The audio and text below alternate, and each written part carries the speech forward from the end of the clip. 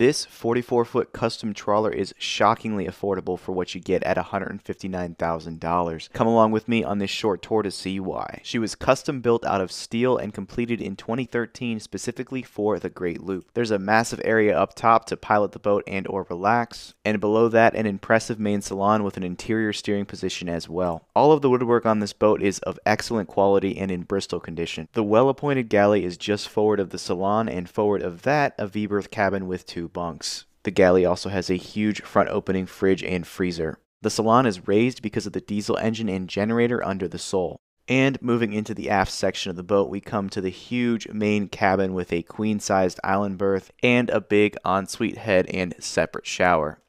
This is a large and comfortable space to make your home on the water. Also, given how expensive land based housing is nowadays, a boat like this definitely seems like a good alternative.